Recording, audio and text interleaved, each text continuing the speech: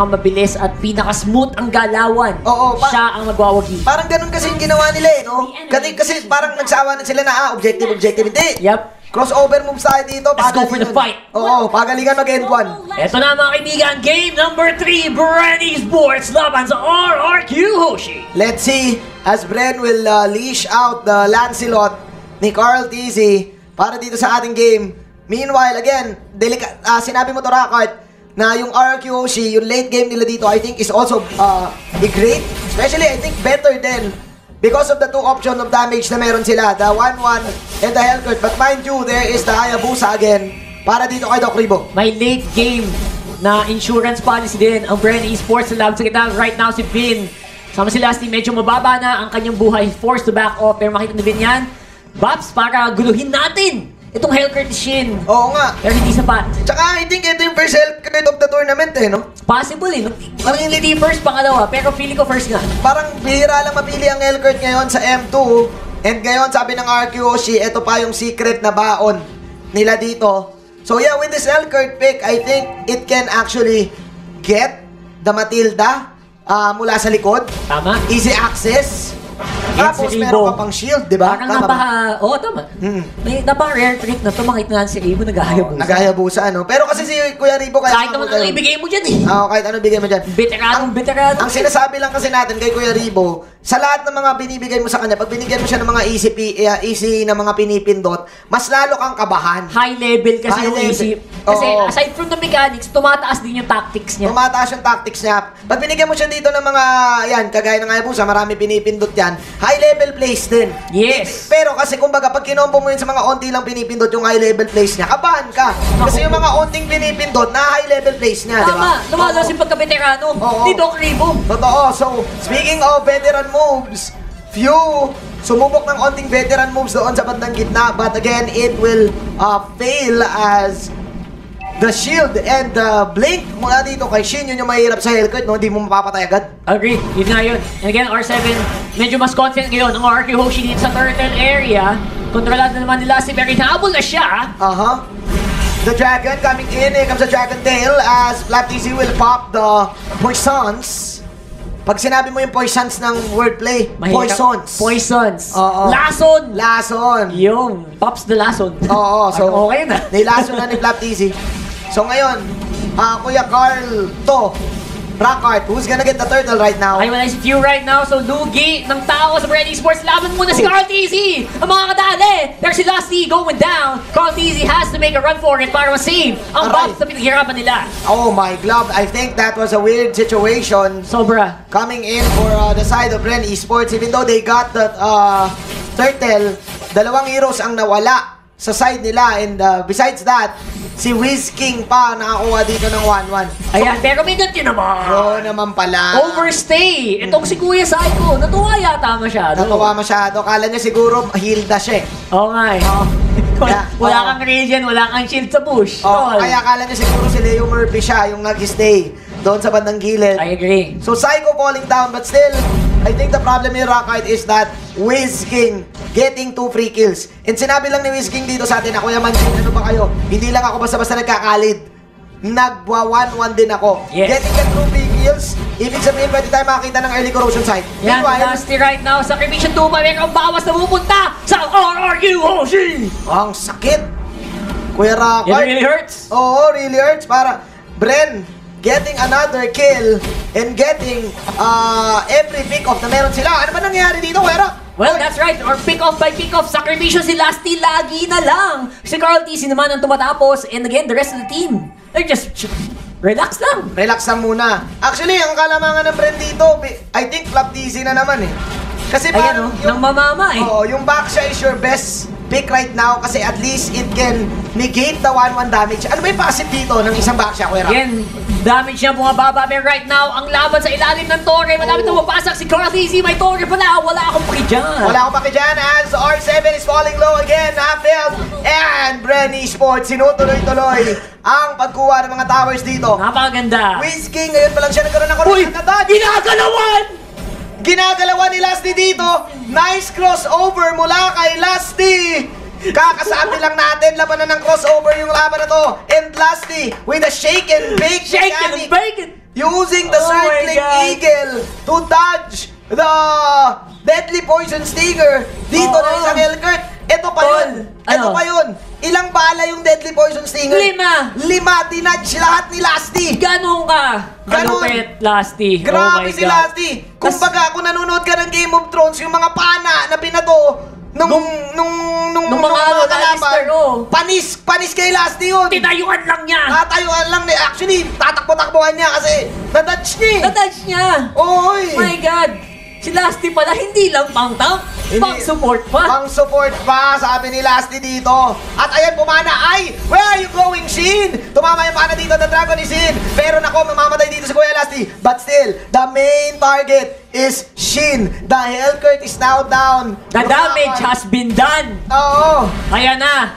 Yung Psycho, nakikipag-psychohan na naman sa main lane pero hindi yan sa mat. Anong ginagawa mo dyan? Sabi ni Hard Anong Easy. nangyari dito bigla sa RRQ, Kuya Rakay? Bigla silang nalulugi. Defensive! Oo. Oo nga, nawala sa plano. Hindi nila alam na ganito na pala kasakit si Scarlet Easy! And- Ganito pala ang estado ng laban. And wow, that Easy Brothers once again. Ito pala yung combo, Kuya Rockart. Kung si Carl Tizzy, nasa kanya yung espada, na kay Flap Tizzy, yung shield.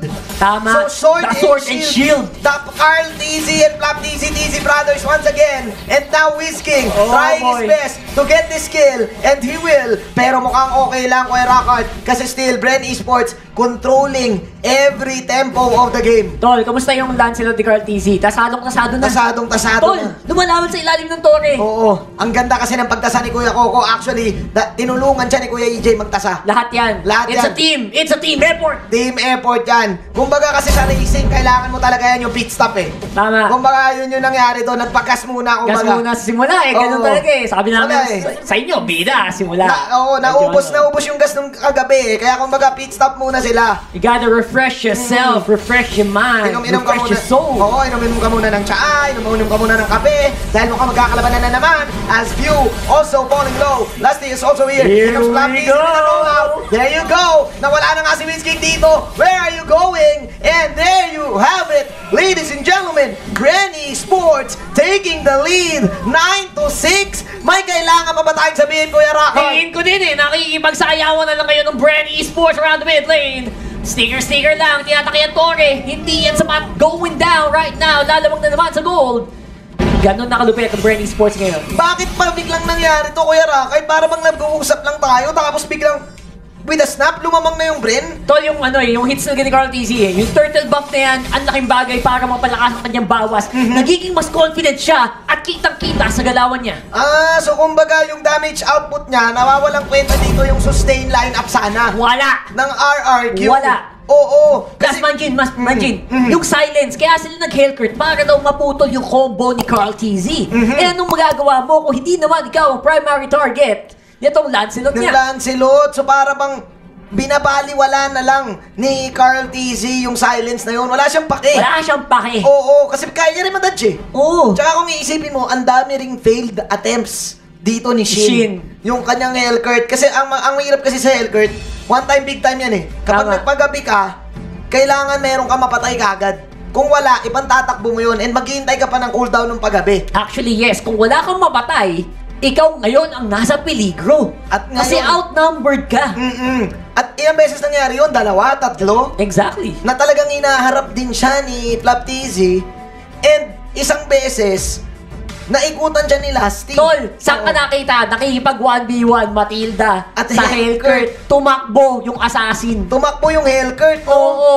Ganon ano ba kalupit. naman yan? Ganon kalupit si Tol. Lasty dito and mukhang kinakabahan ng RRQ Oshi on this game. Rockart, that outplay coming in from uh, the Matilda ni Lasty. Nabanggit natin kanina na this game is all about the outplays. This Tama, game is tama. all about the mechanical prowess of both of the teams. And mukhang pinapatunayan ng Bren dito na mas fast hand sila pagdating sa pintutan, Rockart. Nasira ang confidence, tingin ko, nitong ni Shin dahil din doon sa galaw na yun. At yung mga sumusunod na laban, hindi niya alam gagawin. kanina, oo, parang na, na, nawiwindang na siya eh. Kasi una, tumatama yung pana. Nadadodge, nadadodge yung mga deadly poison niya. Sidestep. Oo, nasa sidestep. So kung ikaw si Shin ngayon, paano ka makakabalik sa ganitong sitwasyon, Kuya Rockart? Alam mo ang ginagawa niya? Nag-farm na lang siya. Mm. As in, umaayaw na siya sa laban. Farm na lang ng farm hanggang kaya ko. Lahat ng stingers niya napunta sa creeps. imbis na sa hero. Imbis na sa hero. Imbis na sa hero. I like it na pinoint out mo yan, Rockart. Hirap na hirap na si Shin dito. Kung kanina akala natin na magiging main target ay si Wiz King, si Shin pala, even though 2 dead siya dito, ibig sabihin wala lang talaga din siyang mapafarm, Rockart. Yep, and again si Vin. Nahihirapan na din dito, TT, si Carl, si, si Flap, TZ. Ayun sila last hit, sila Ribo nasa likod. Kailangan niya mag-ingat. Here we go. Stingers. Sipa para dito. Kaya, of course, uh, sa side ng Bren Esports. And now, Oh! few miscalculating that uh, flame shot. Once again, From downtown though. from downtown once again. And now, 9-6 Bren Esports trying their best to push out this tower in the top lane. RRQ now on the defensive mode. Hirap na hirap na itong si Elkert. And now RRQ getting the Kiras on their side. King also getting the DHS. Ayan Pero na. enough ba yung mga items na to? I don't think so, my man. Babawasan mo ba ang bawas ni Rebo, ang- ni Carl TZ? Hindi pa nga lumalaban masyado si Rebo niyan eh. Ay, oo. Hindi pa sumasama ng tuluyan yan. Parang nagpa-farm lang si Ribo eh. Oo. Pas, oo eh. Kumbaga si King yung backup ng kabila, sa Rebo naman dito sa Freddy Sports. Oo nga eh. Pero si Ribo nagpa-farm lang, nagsistream lang. Oo. Actually hindi, nag-FB lang, nagpa-story Solo gaming. lang. Solo gaming, pa-shot-shot lang dun sa bandang gilid eh.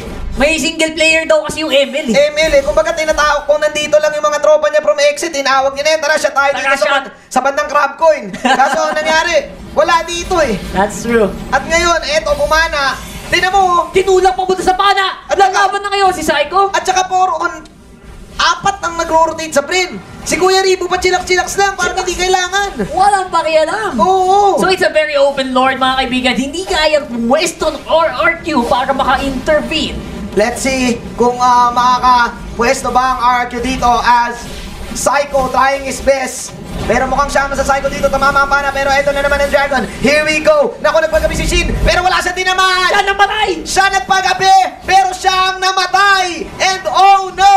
Tagilid ata ang side ng RRQ. Pero Flap TC patay dito. 4 on 4 ang laban. Circling Eagle! Pasok ngayon dito Flying si Kuya. Losty! Pero napalaban ata ngayon. Godlike para Carl Dizzy. Carl Dizzy with the Tusok. The Tusok King is real. And now, Carl Dizzy, dash in, dash out. Sabi ni Wiz King ako rin. Pero sabi ni Carl Dizzy, hindi maging effective yan. Ribo sumali. Ribo! Shot ka muna. Pero now, Team Brenny Sports on the go, on the chase. Walang magawa ngayon ang side ng RRQ Hoshi. Wiz King hinahunting na ngayon, nagtatago na kinakabahan, na-stun itong si Pew at tinapos na ang labanan. Anong nangyari doon, Kuya Rakay? Bakit biglang nalugi yung RRQ?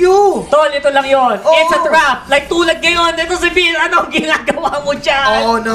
It's a trap. Tol, Oo. the Lord was a bait. The Lord was a bait. Classic MOBA strategy. Classic MOBA strategy, Oo. but hindi na predict ng RRQ yun. Ganun na ka-advance ang lamang ng Bright Esports. Biruin mo, yun pala yung plano ng Brent dito on that part. Kasi alam nila na lamang na din sila sa items, di ba? That's true. Oo. Lamang dahil. The confidence pinapakita. Akala nyo, kunwari, lamang na daw yung RRQ nakapasok sa Lord. Oo. Yung pala, it's a trap. Si Shin, nagpagabi nag- at namatay. Nagpagabi siya mag-isa. At wala, ang yun yung mahirap kapag ikaw yung Hellcurt eh. Yes. Wala, kapag walang follow up yung ultimate mo, eh parang lugi talaga kasi bitin din yung damage output niya.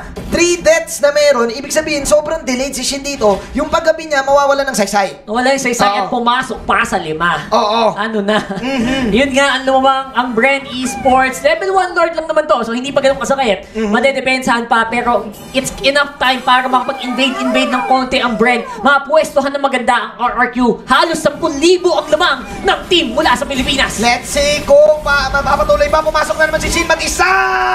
Na naman! Wala siya- Nakasabi lang. Wala siyang damage output dito, Kuya Rockart. At mukhang eto na nga, Bren Esports now taking this one. Now going to the mid lane. Taking the tower and the dragon. Nako, pop! The Fairy Dragon! Oh, boss! Oh my G!